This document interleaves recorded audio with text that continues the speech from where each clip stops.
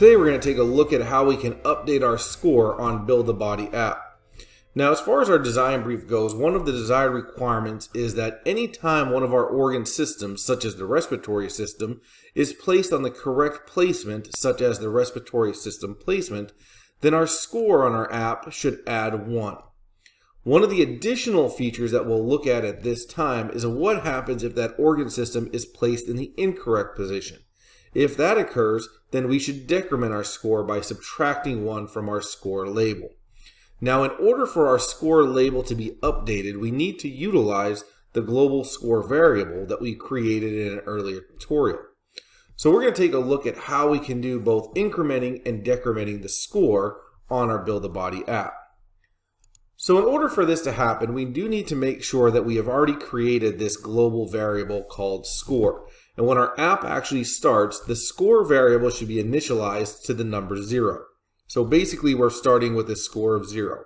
From there we can manipulate that variable by adding or subtracting one to reflect the current value in our game. So in order to do this, we're going to look at our touch up event handlers. We've already created a condition here, which is our if then else statement, which basically means if we have something that's true, then it's going to do something. If it's not true, then our else statement is run. Here is where we're going to add our code in order to increment or decrement the score. So if we look at our if statement, we're calling our brain that if it collides with the brain placement, then the brain is going to move to the correct brain placement, x and y coordinates, and that's where we want to be able to add one to our score. So how we're going to go ahead and do this is we're simply going to go to our variables, and we're going to grab this set. And we're going to want to set our global score to add 1. So we can take the global score plus our math drawer using our addition, and we can go back to our variables and get the global score. So this is going to get the current state of the variable. Whatever that variable is worth or at right now, it's going to take that, and we simply want to go ahead and just add 1 to it. Now, where this is going to go is simply in that then statement. So what we're looking at is if the brain does collide with the brain placement, then we want to add 1 to it. Now, we can do that for the rest of our event handlers now, or we can go ahead and complete the rest of this. So let's take a look at what we can do since we're already here. We're just going to simply duplicate that, and we're going to add that bit of code into each of the other three event handlers that have the touch up. So now, if the digestive system collides with the digestive system placement, we should also see plus 1.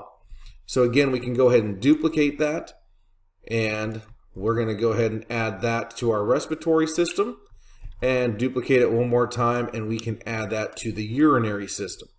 Now all four of my placements should allow me to add one to the score when they actually collide with the correct placement. Now, what you will notice is if we take the brain and drop it to the brain placement, that my score label has not changed. And that's going to be true for any of the four organ systems. Now, that doesn't mean that the variable hasn't changed. Right now, my variable is still sitting at plus 4, but we haven't represented it in the actual label yet. So in order for my label to reflect what the current value is, we need to go ahead and update that actual value. So we're going to find my score label. And in my score label, we need to set the score label's text. And we're going to set that text to using a join block. And we're going to grab another text box here. And in here, we're going to go ahead and type the word score, colon, and a space. And now we're going to say the score label's text should be score, and we want to get the current value of our variable which is our score value, variable. Now, where this block is going to go is very important. We don't want to put this inside of that if-then condition.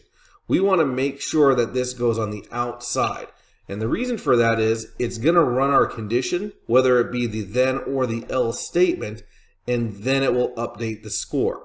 So again, now that I've gone ahead and done that, I can go and drop that into each of the other three remaining event handlers.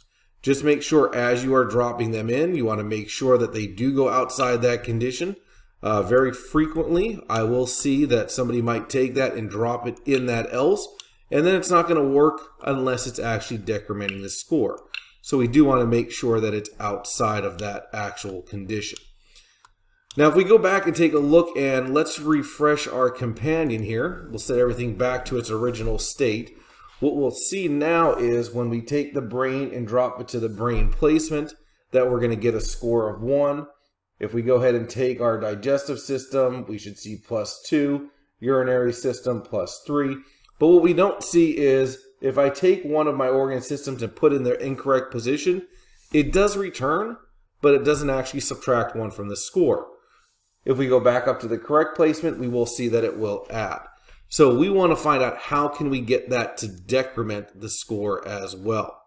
So the way that we're going to do that is we're basically just going to go ahead and manipulate this set global score to get the global score plus one. And when we go ahead and duplicate that, all we're going to go ahead and do is remove that plus one. And what we'll do with that is change that to a minus one. So instead of adding one to the score, all we're going to do is go ahead and subtract one from the score.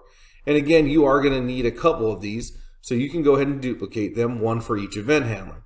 Now where this is going to go is in the else statement, which means if it collides with the wrong placement, we want it to go back to its original placement, and now we want to be able to subtract one from that.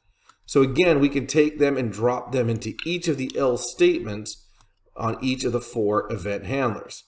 Now, by doing that, what that's going to leave us with is that we should be able to see both the score label increasing or decreasing depending on what happens on our app. So again, now if we take the brain and drag the brain to the brain placement, you will see that we get a plus one. You'll see that we take our respiratory system and let's place that in the wrong position it's going to go back and now we have a minus one. And the reason we have a minus one is because right now we have our respiratory and urinary system kind of collided with one another. So they both went back to their original place. Again, if I put the respiratory in the right place, go to zero, digestive system. And now let's try the urinary system. If we put in the wrong spot, that is also decrementing the score. So it's an easy way to go ahead and modify your touch up event handlers to basically update your variables, which in turn will actually change your score labels to show either the value increasing or decreasing.